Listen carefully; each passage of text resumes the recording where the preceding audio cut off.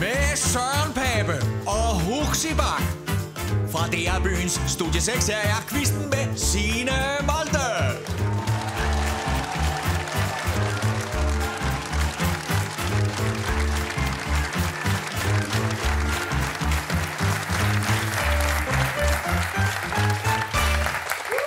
Woohoo! Ja, så satte jeg mig lige ved den der note. Ja. Velkommen til quizzen, og velkommen til mine gæster. Den yndige Huxi Bak og jernnævn fra Viborg, justitsminister Søren Pape Poulsen. Woohoo!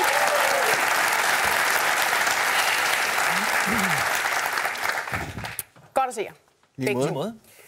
Huxi, du, Ja. kender, du kender lidt til politik og til Christiansborg, ikke? Ja. Ja, Jo. og det gør du også, ikke? Sådan jo. Ja, godt. Altså, hvem vil I sige øh, er den største drama queen på Christiansborg? Udover Søren Espersen. Der er mange gode, synes Ja, ja. jeg. Øh, jeg synes... Hvor mange må vi nævne? I må faktisk godt nævne tre. må vi det? Jeg synes for eksempel, Jacob Mark fra SF er god. Ja. Han kan godt... Der er meget drama i ham. Ja. Ja. Det kan jeg se på Søren, at det er rigtigt. Så synes jeg også, Martin Henriksen er god. Han er også drama queen. Ja, Ja, det synes jeg også. Ja. Jeg gemmer lige min sidste til at høre, hvad Søren siger. Du er meget stille. Ja, jeg er ret stille, fordi øh, skal man lige sidde og hænge nogen ud? Er der nogen? Nej, og det, man behøver ikke svare i den her quiz. Nej. Nej, Nå, men, det vil jeg godt lige have vidst. altså, man behøver ikke... Altså, Men så hvis- taber man. det er rigtigt. Ved du hvad? Det er sødt. Der kommer en masse andet, du kan svare på. Ja. Men der er mange at vælge imellem. Altså, Christian Juhl, enhedslisten er virkelig også. Nå, det, det, ja, det, åh, du er godt. Hvor lang tid har vi? Fordi Men hvis, hvis, hvis jeg måtte vælge tre, ikke, så ville jeg Henrik sige... Sass, du er godeste Jeg vil sige dem jeg her. siger. Prøv at se. De her, de her tre, ikke? Hende er Christina fra LA. øh, Det må simpelthen ikke ske, og, og det er helt absurd fra Alternativet og Senior Stampe. Jeg er rystet, og spørgsmålet er selvfølgelig, altså hvorfor er damerne her pludselig så følsomme? Det er, noget, det er helt absurd. De er rystet. Ja, det er ikke mig, der trykker på knappen. Og det er mig, der... Det, det, det. Jamen, jeg tror måske jeg godt, jeg ved det. Nå. Der skal meget til at ryste de der tre damer der. Øhm, altså, jeg tror nok, det er noget med, at de er meget rystet over, at staten vil, vil gå ind og hjælpe øh, folk, der er blevet skilt. Nej, det er ikke det. det tror jeg, det var det. Nej, nej. Øhm, er det noget med øh, nogle mails, der måske har blevet slettet, eller sådan? Eller ikke? Måske. Who Det, knows? who knows? Who knows? Det er rigtigt, baby. Ja.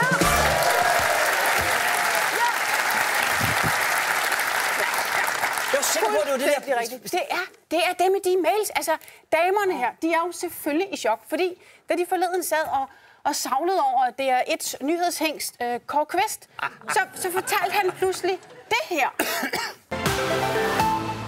God aften. Store mængder slettede e-mails fra fire topchefer i politiet har forhindret en fuld opklaring af den såkaldte Tibet-sag. Ja, jeg ved godt, du tænker, åh nej, mere Tibet-sag, man overgår det næsten ikke. Sådan har vi det alle sammen, ikke? Men, men vi, vi gør det lige hurtigt, ikke? Jeg er helt med. Øh, det er godt. Øh, så her kommer øh, første runde, som er... Politichefen bryder grundloven. Skylden foran mellem leder der er doven. Chefen sletter alle mails, som han har sendt. Om at skåne den kinesiske præsident. Han tåler nemlig ikke at se Tibet-flag. Og Danmark vil så gerne have hans panda. Rund, rund, runden.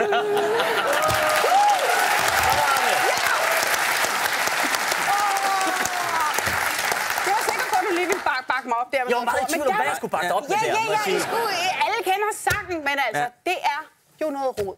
Ikke?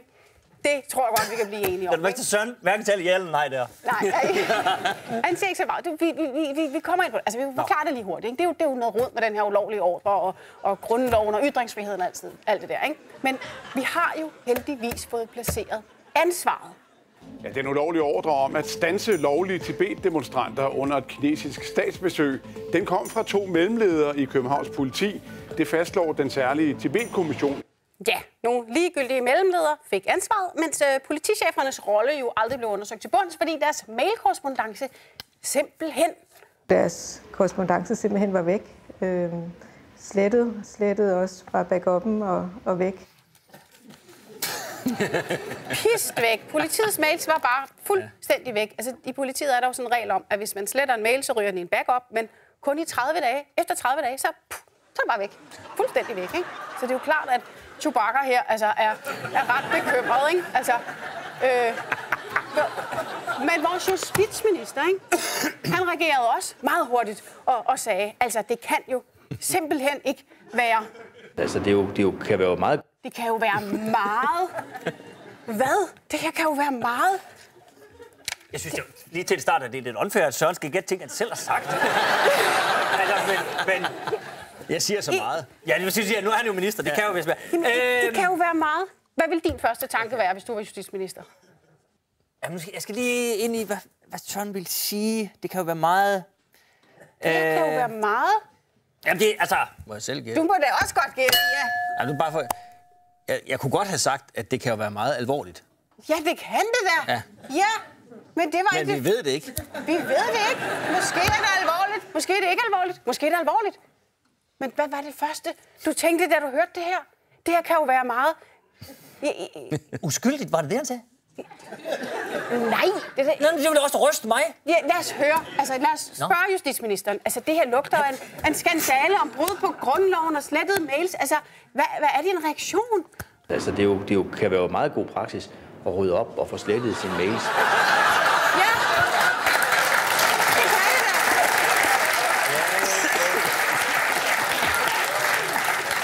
da. Det kan da Det være er meget faktisk god. rigtigt. Du har helt ret, Søren. Man skal sådan huske at få ryddet op i sin inbox. Ja. Det skal man. Ja, det Nå. skal man da. Ja, okay. Sær- Især hvis der er noget, der afslører, at man har brudt loven. Ikke? Men du synes jo faktisk noget mere, Pape, ikke? fordi der kommer flere ud af dig, ord Ja. ud af dig her. Ikke? Du, du stopper jo ikke efter den her sætning. Nej. Altså, det, er jo, det er jo, kan være jo meget god praksis at rydde op og få slettet sine mails, hvis på nær dem, der selvfølgelig skal ligge på sagerne. Øh, det er jo også god øh, dataskik. God dataskik. Ja. Det er, jeg vidste slet ikke det ord. Fandt det? Det Altså, gør det. Men god Åbenbart. dataskik, det er så, altså, at man, man lige gemmer de mails, hvor man har skrevet øh, fuck grundloven til sin underordnede. Den skal man lige sørge for at journalisere under Tibet-sagen, for eksempel. Hvis det hører til på sagen, så skal man journalisere. Så skal man selv sørge for lige at få den derned, inden den bliver slettet. Okay, godt. Og, og ved du...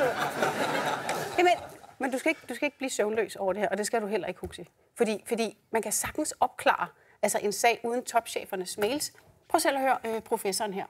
Selvfølgelig kan man godt tegne et billede uden øh, disse mails, men Ja, det, man kan sagtens tegne et billede med, uden de her mails, men, men, men hvad? Men, Altså, hvis man ikke har mailsene, man kan sagtens tegne et billede, men, men det... men Nå, jeg skal... Det er usikkert. det er usikkert. Ja, det, det, er, det er et lidt usikkert Det er billede. usikkert Det billede. er der. Det er usikkert. Det bliver et billede, der overhovedet ikke ligner. Altså, Altså, så det er meget usikkert. Jamen, ja, det er jo... Det, er jo, det Lidt bliver, usikkert. Det bliver jo... Meget usikkert. En- Ja, et vanvittigt billede. Det bliver et, et, et, et forkert billede. Ekstremt usikkert. Ja, altså, jeg vil sige, du får sgu et point, Huxi. Tak, du får sådan. sgu et point. Ja, godt. Du får et point.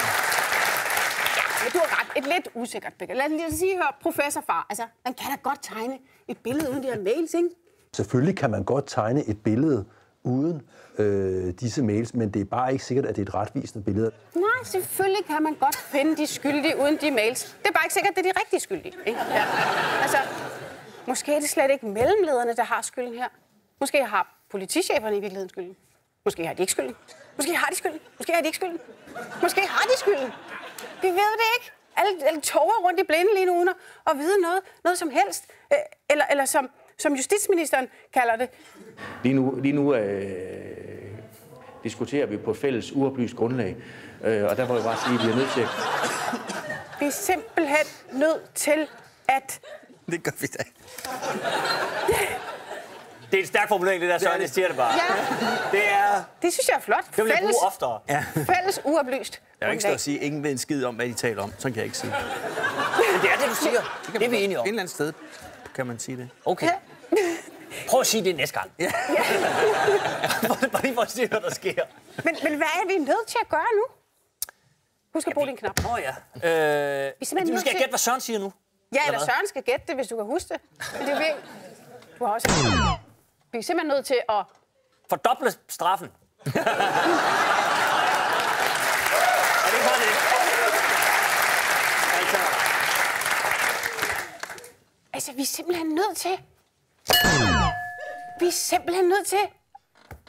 Nu skal vi se fremad. Vi... Nu skal vi komme videre. Nu Jamen- skal vi... Vi ved ingenting. Det er jo alvorligt, så skal vi bare se fremad. Ja, for vi kan jo ikke uh, kigge tilbage. Det bliver vi ikke klogere af. ej, nu er vi nødt til at stramme op. Nu er vi nødt til Er at... det en opstramning, det trænger til? Altså, lad os, lad os høre, om jeg har ret, nogle af jer. Pape, altså, hvad siger du? Du må godt komme med flere bud. Det er så sjovt, du kan overhovedet huske, hvad du selv sagde. Prøv, at se, jeg siger jo noget hele tiden og hver dag og alt muligt. Jeg kan jo umuligt Husk, huske, hvad Anders siger. Husk, at Søren Pape hele tiden arbejder på fuldstændig uoplyst grundlag. Han aner ikke, hvad han han ved ikke, hvad der foregår. Om noget som helst. Så han er lige, Okay, det er svært, ja, okay. Øh, øh, Pape, Fælles regler, vi skal kigge på det. Vi skal undersøge det. Det går jo ikke. Det er fem år det ene sted og 30 dage det andet sted. Ej, Vi skal oh. undersøge det nærmere. okay, noget med nogle regler, vi skal kigge på det. Okay, øh, Altså, Pape, hvad, Anders, du siger det altså bedre her. Det bliver Okay. okay. det, det er mere til at Trods forstå. er jeg glad for. Der må jeg bare sige, at vi er nødt til at kigge fremadrettet.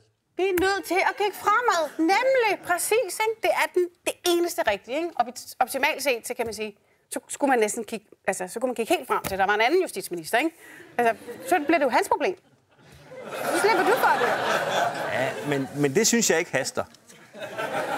Det kan jeg godt forstå. Ja. Men det er lidt som om, altså, er det ikke som om, hver gang der er et eller andet galt, så er det bare sådan noget, man kigger fremad, ikke?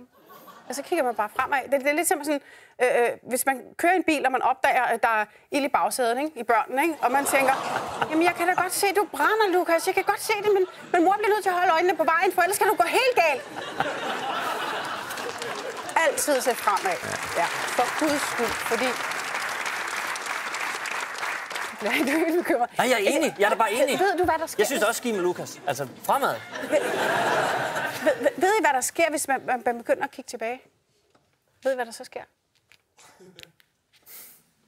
Det er ikke sjovt. Nå, Det er, det er virkelig ikke sjovt. Altså, fordi så opdager man, at, at det ikke kun er politiet, der sletter mails, inden de skal undersøges. Slettede e-mails har flere gange været skyld i, at store undersøgelser af forløb i det offentlige er strandet. Nej, for også Skattesagskommissionen og Statsløsekommissionen har oplevet problemer med, at myndighederne har nået at slette mails, inden de overhovedet er kommet i gang med at undersøge sagerne. Hvor, hvorfor sletter folk overhovedet deres mails? Altså, ved de godt, hvor meget plads der er på internettet? Jeg, jeg sletter aldrig min mail. Sletter, sletter du din mail? Aldrig. Nej. af samme årsag. Ja, men der, der er masser af plads. Hvor tit sletter du mails? Det er ikke så tit. Nej. Jeg burde nok gøre det mere. Det- Hvad nu, hvis du bliver hacket og sådan noget? Så? Det, det, det, ja. Nå. Men det er åbenbart sådan en god, gammel dansk tradition, det der med at slette mails, som forskellige kommissioner gerne vil have fingrene i. Ikke? Øh, tag for eksempel ham her. Ved I, hvem, ved I, hvem han er? Ja. Ja. Ja, I ved, hvem han er? Ja. Så kan godt få point. Jamen, ja. Han er landsdommer ved Vestre Landsret, og han var formand for øh, Skattekommissionen. Skattekommissionen, oh, heller i Tornens. Ja, I, ja. Åh, det er da fint. Ja, ja. Ja, ja, ja.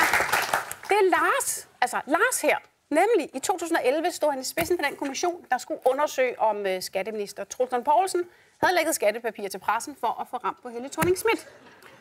Og han kom frem til, ja, måske havde Troels Lund Poulsen brudt loven. Måske havde han ikke. Måske havde han. Måske havde han ikke. Vi ved det ikke med sikkerhed, fordi der var et problem med nogle afgørende mails. Hvad tror jeg problemet var? Det var nok slettet. Gætte, hvad siger du, babe? Du skal bare gætte løs. Jeg tror bare, de var slettet. Du tror også, de blev slettet. Det ved man ikke. Jamen, man ved vel godt, om de er blevet slettet. Jamen, de blev også... Altså, Ja, jeg tænkte det nok. Prøv selv at høre, hvad, hvad, hvad Lars fortæller. Når man øh, kigger på, på det, vi fik ind, så kunne vi se, at der var noget, der var slettet. Ja, det, det er så irriterende, når man står der og mangler mails fra ministre og topembedsmænd og politichefer og alt muligt. Det, må Det er ham, der er justitsminister. Det er ham, der Jeg ved det godt. Jeg ved det godt, men, men tænker, altså, okay, hvordan hvordan har I altså kommissionsformændene med? I får ikke alle oplysninger, ikke? Altså, det må da være til at blive sindssyg over. Vi sidder der med den her fornemmelse, at, øh, at, det er, at, øh, det er, at vi ikke kan få alle oplysninger. Ja, hvordan er det? Det er da... Åh, man ikke kan få alle oplysningerne. Nå, jeg troede, hun sige... Jeg gætter stadigvæk på, at hun siger, at de arbejder på et fælles uoplyst grundlag. det er mit klare bud. Men hvad synes hun om det? Det er da... Øh, at vi ikke kan få alle de oplysninger.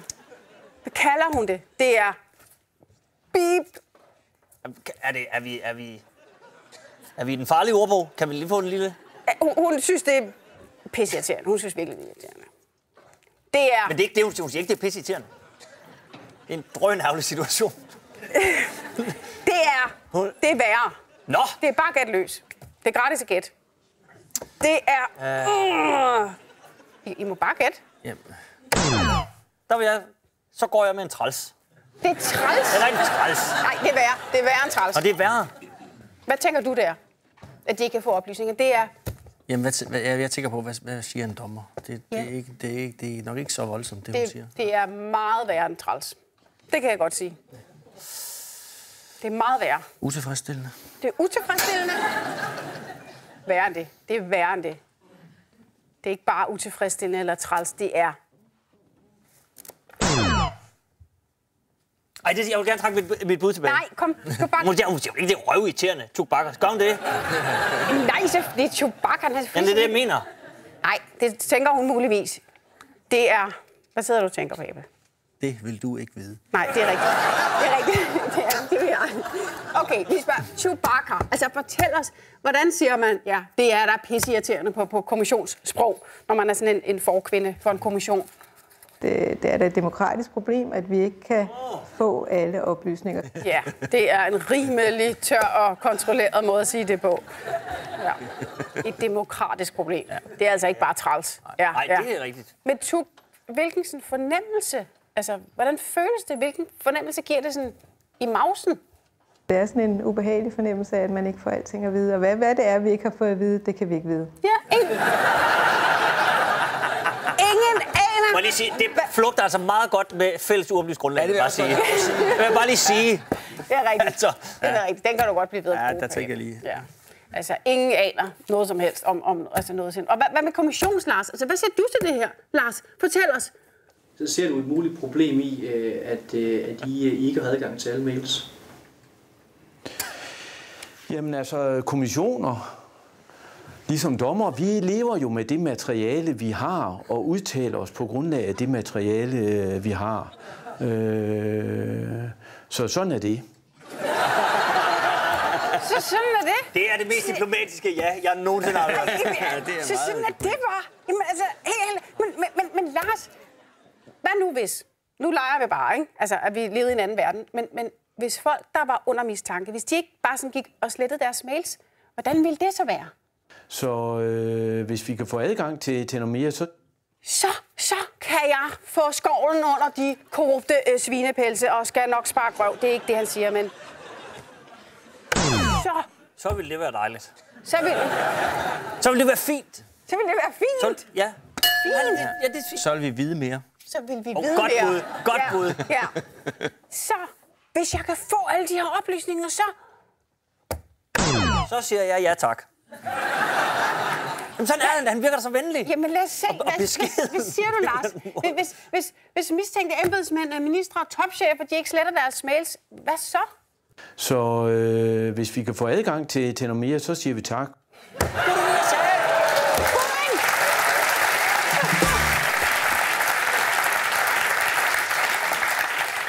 Så siger han tak. Det er fint. Ja. Prøv, du, skal ikke, du skal ikke sige tak, Lars. Altså, du er kommissionsformand. Skal man da ikke øh, gå og sige tak?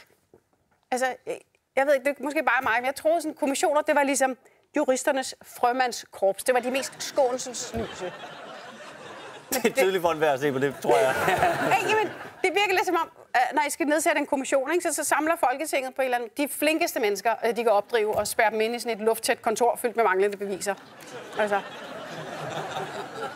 Og de bedste kommissionsfolk, ved I, hvem det er? Det er sådan en som Lars. Det er simpelthen folk, der arbejder langsomt nok til, at selv den dogneste politichef kan nå at slette alle sine mails, før han overhovedet kommer i gang. Prøv at se, hvor langsomt han arbejder.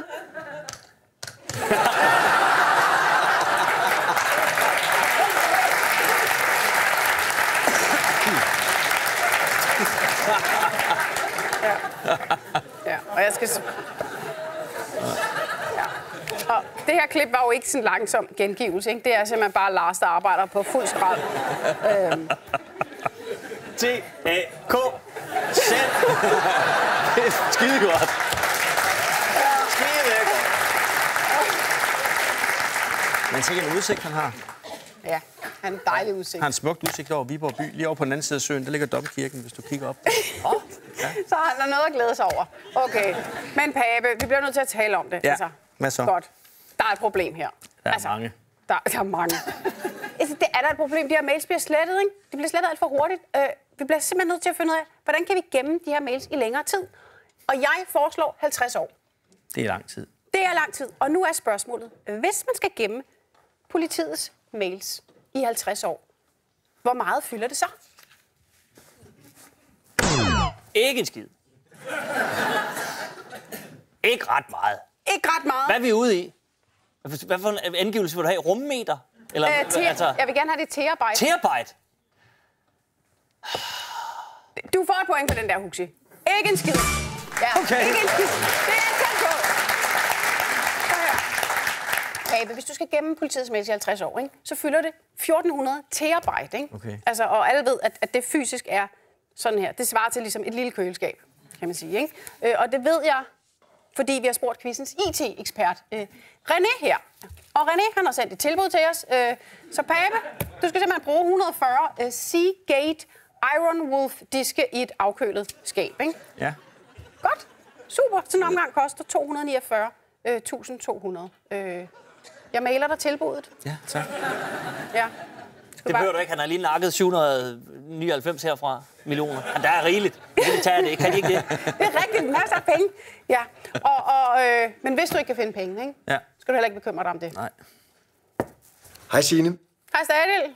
Hvis du gider sige til justitsministeren for mig, udover at sende ham min øh, hilsner, så sig det til ham, at de der harddiske fra René, dem skal jeg sgu nok øh, tage mig af. Dem skal jeg nok øh, sponsorere. Så hils og have det godt. Fedt. Tak.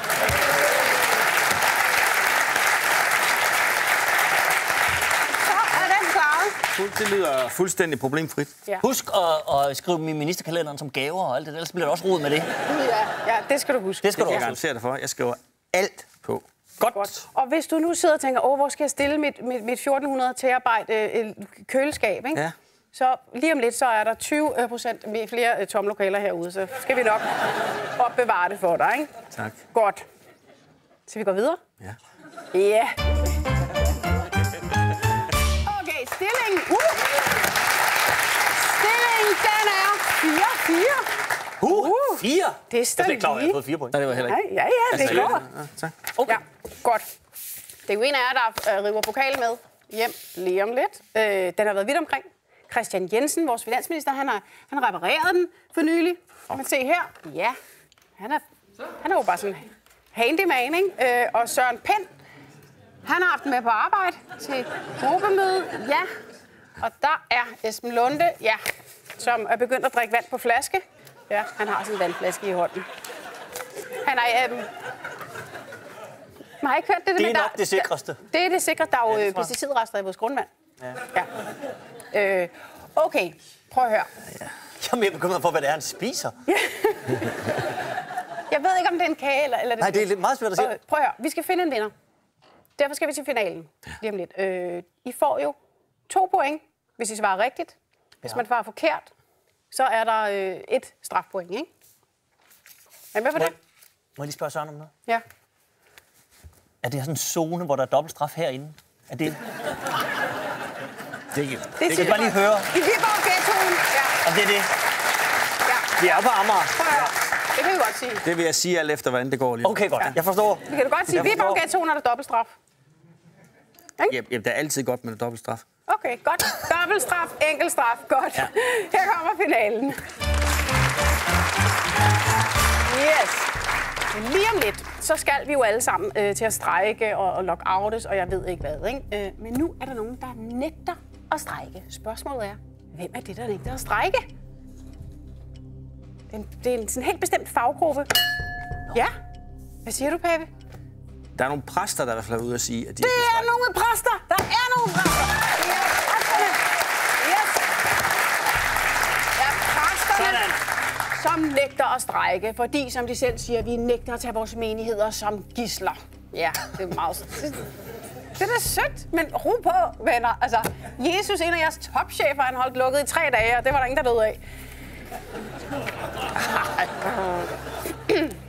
Hvordan, øh, hvordan afslutter I jeres breve, hvis I skal slå op med nogen? Slå op med nogen? Ja.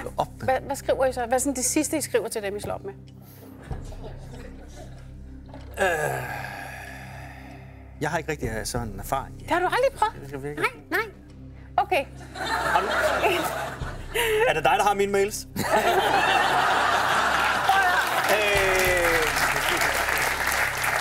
Altså, ja. Det, du sendte i 2012 i november, det skulle du nok ikke have gjort. Spørgsmålet er selvfølgelig, hvem skrev følgende efter at have slået op med Danmarks Radio? Hvor er det godt, at, at Danmark har DR. Jeg vil blive en engageret ambassadør for DR i årene, der kommer. Pas godt på hinanden og pas godt for Danmarks vigtigste kulturinstitution. Vel, venlig hilsen.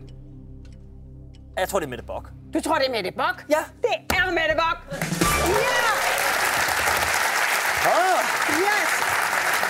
Det var en sidste hilsen, det gjorde fra Mette Bock, da hun i 2009 trådte tilbage fra sin direktørstilling i Danmarks Radio. Ja, det var altså dengang Mette Bock, hun bare elskede DR 100 procent. Nu om dagen så elsker hun også lige præcis 20 procent mindre. Og du skal vide, Mette Bock, at jeg glæder mig rigtig meget til at se dig her i quizzen øh, i næste uge. Det bliver super hyggeligt. Ja. Og det kan jeg sige med 80 procent sikkerhed. Okay, drenge, vinderen af quizzen. Nej, det er tiebreak. Vi tager et hurtigt finale spørgsmål mere. Det kan vi godt nå. Godt. Godt. Okay. Okay, hvor mange dage gemmer politiet deres slettede mails? Husk, du svarede først. 30? 30 dage! Og du vidste det godt. Ja, han har da sagt det. Det var da kun derfor, jeg vidste. Ja, du får det. 30 dage. Okay, mine damer og herrer. Vinderen af quizzen med syv point, det er Uxi Bak.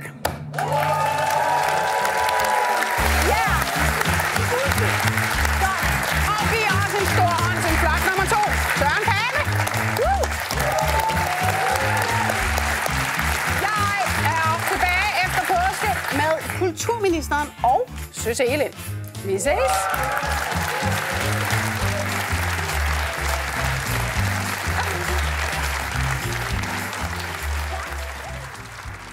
Kunne du tænke dig at blive publikum til quizzen, så skriv til John over i venstre side af billedet. Ja, ham der. Eller gå ind på dr.dk og tilmeld dig.